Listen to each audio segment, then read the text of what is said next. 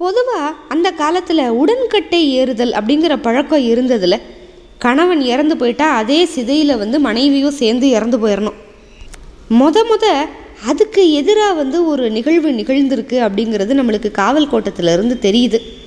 ரங்ககிருஷ்ண முத்து வீரப்பன் இந்த இளவரசனுக்கு வயசு பதினஞ்சு தான். அவங்க அப்பா இறந்து போயிருக்காரு மண்டபத்தில் வச்சுருக்காங்க. அவங்க அம்மா ராணி மங்கம்மாவை உடன்கட்டை ஏறுறதுக்காக பெண்கள் கூப்பிடுறாங்க. ஆனால் மங்கம்மா வரல.